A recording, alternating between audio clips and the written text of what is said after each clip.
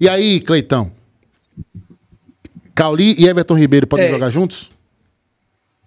Eu, eu acho que o, o Luiz Teles foi cirúrgico, né? Quando ele fala das semelhanças.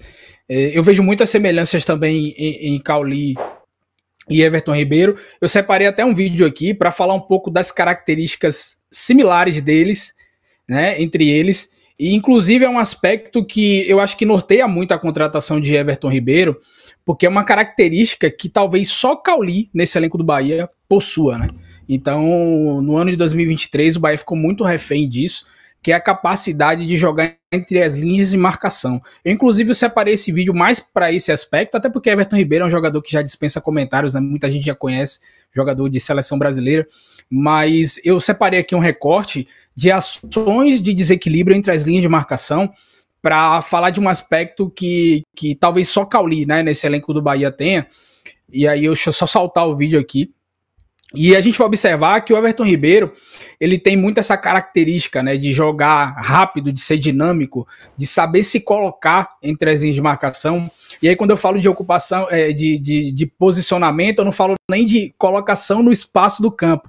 Eu falo de como você se comporta, né, como você direciona o seu posicionamento naquele determinado espaço.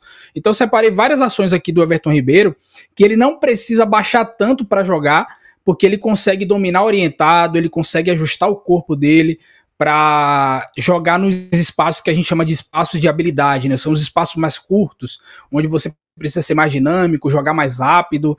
Então, eu separei algumas ações aqui. Essa primeira aqui a gente já consegue perceber que o Everton Ribeiro, ele consegue em dois toques deixar a bola pronta para ser jogada, né? E aí nesse aqui, por exemplo, ele já vai, ele já domina, já consegue ficar de frente, já tira a marcação ali e consegue fazer a bola chegar na profundidade do campo. Então, é uma característica que talvez nesse elenco do Bahia, só o Cauli domine com maestria e em alguns momentos faltou. Então, o Everton Ribeiro é esse tipo de jogador, né, que por vezes ele não vai baixar tanto para buscar a bola, apesar de ter capacidade de fazer isso também no seu jogo, mas ter essa capacidade de jogar nesses espaços mais curtos entre a linha de marcação. Então eu separei aqui alguns exemplos e eu quero destacar alguns aspectos que são cruciais para ele conseguir executar esses comportamentos. Primeiro aqui, a gente já vai visualizar o Everton Ribeiro, e aí ele já está entre as linhas aqui de marcação. Olha como ele ajusta o corpo, já mapeia o espaço, já domina com o pé da frente, que a gente chama do pé da frente, né? O pé mais próximo do gol adversário. E em poucos toques ele já consegue criar uma situação de finalização para o companheiro dele.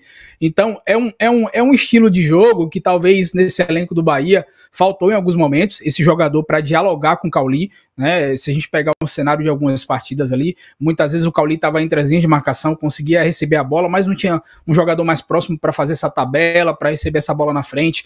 E o Everton Ribeiro é um jogador que consegue fazer isso muito bem. Olha aqui novamente esse exemplo, né? Eu trouxe um exemplo passado onde é, é, ele dominou com a perna direita e já fez o passo com a perna esquerda. Aqui eu vou trazer um outro exemplo, onde ele consegue estar entre as linhas de marcação, dominar com a perna esquerda e já fazer o passo com a perna direita. Então é um jogador que tem essa capacidade, tem esse gesto técnico apurado, né, para ter um controle maior da posse de bola. É um jogador que mapeia bem os espaços, então é, ele, ele percebe que é, às vezes não é se, se posicionar no sentido da bola, mas no sentido contrário, porque o balanço do adversário vai para um lado, se ele, se ele ficar ajustando uma linha de passe, ele vai conseguir receber uma bola ali sem tanta oposição. E a partir do momento que ele recebe a bola, é, tem muita qualidade, né? Para dominar com o pé da frente, fazer essa bola girar, fazer essa bola andar com poucos toques, com dinâmica. E, além disso, ter o crucial, né? Que é a capacidade da pifada, de colocar os companheiros em situações de finalização. Então, é uma característica que o Cauli, né? Dominava muito bem. E que hoje, né? Se concretizar, é o que tudo indica, vai se concretizar. É uma característica que vai ser acrescentada ao elenco, porque o Everton Ribeiro também domina isso como um pouco no futebol brasileiro. Cleiton, como é que você vê o posicionamento de Everton Ribeiro no Bahia? Né? É, eu me preocupo com a questão do equilíbrio defensivo. Né? Evidentemente que conceitualmente, se você conseguir exercer a dinâmica do pressão pós-perda, né? aquela questão do posicionamento, de duas linhas de quatro, não, você não fica tão refém disso daí. Mas a gente sabe que tudo isso é um processo e tudo mais é, é aquilo, né? O principal Everton Ribeiro foi o Everton Ribeiro no Flamengo de extrema, pelo lado direito, né? e voltando para compor linhas, mas a gente sabe que o tempo passou, né? E em muitos recortes aí a gente viu ele atuando mais centralizado e tudo mais. Como é que fica a recomposição do Bahia com Everton Ribeiro? E você acredita que ele assim, qual o melhor esquema para ele? Seria ainda de, de, de, de fora para dentro da direita? É, com Rogério Ceni no Flamengo, ele chegou a ser utilizado como segundo volante. Você acha que é um caminho? Enfim, como é que você vê o posicionamento tático de Everton Ribeiro? Evidentemente que é um jogador que oferece né, uma, multi, uma multiplicidade tática para o treinador, mas evidentemente que pelo menos para começo de conversa tem que ter um, uma base de posicionamento ali, né? É, primeiro eu, concordo com você que o Everton Ribeiro, a maioria das, das, aparições dele com a camisa do Flamengo, até antes mesmo, é, ele era um, um ponta construtor, né?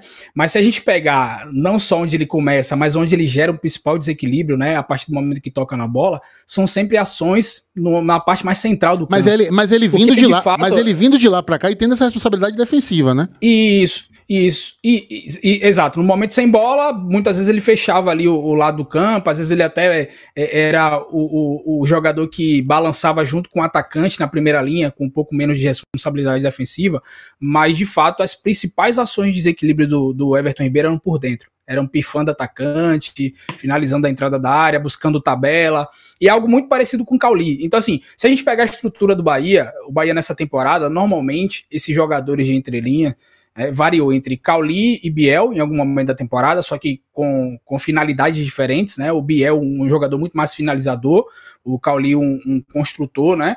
É, por outras vezes foi o Tassiano, e aí é interessante falar do Tassiano, porque, por exemplo, o Tassiano era um jogador mais de espaços abertos, né? Espaço de força, que a gente chama de, de espaço de força. Por quê?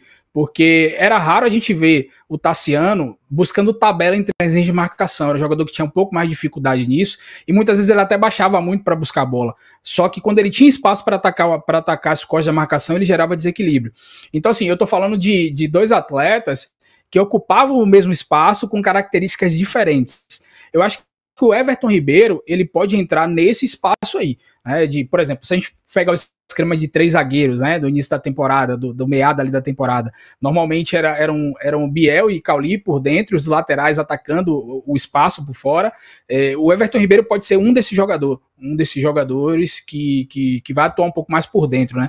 Eu não acho que o Everton Ribeiro hoje ele consegue ser é, um jogador que recompõe junto com o lateral. Eu acho que, inclusive, é um desperdício, porque é, você vai desgastar um atleta que já tem uma certa idade, né? E que ele precisa estar tá muito fresco para, como o Luiz é, falou de forma brilhante, ele precisa estar tá muito fresco. Se a gente pegar esse, esse cenário é, recente do Flamengo, era justamente isso que acontecia. Não era que o Everton Ribeiro era um jogador descartável, mas que fazia muito mais sentido você ter ele por 30 minutos, 40 minutos, mas o melhor do Everton Ribeiro, do que trazer esse atleta para um cenário de 90 e que ele se desgastava muito muito e tinha essa dificuldade né, no momento defensivo. Então acho que dá para jogar junto a partir do momento que o Everton Ribeiro seja um jogador mais avançado. Eu não vejo ele como segundo volante, eu acho que foi uma situação ali esporádica, né? É, eu acho que hoje é muito arriscado ter o Everton Ribeiro nessa posição, até porque se a gente observar a, busca do Baiano pro, pro mercado, é, para jogadores dessa posição, são jogadores de muito volume, de muita imposição física e que fogem totalmente do perfil do Everton Ribeiro. Então acho que ele seria mais um meia é, meio atacante, né, que, que flutua ali entre as linhas de marcação, do que um ponta, construtor ou um segundo volante. Eu acho que é, é, é, é se eu fosse é, dar um palpite, né, eu diria que o Cauli seria mais um meio campista avançado na estrutura do Bahia. Perfeito. Senta o dedo no like, ativa as notificações, inscreva-se no maior reduto tricolor desta plataforma! Vamos aí!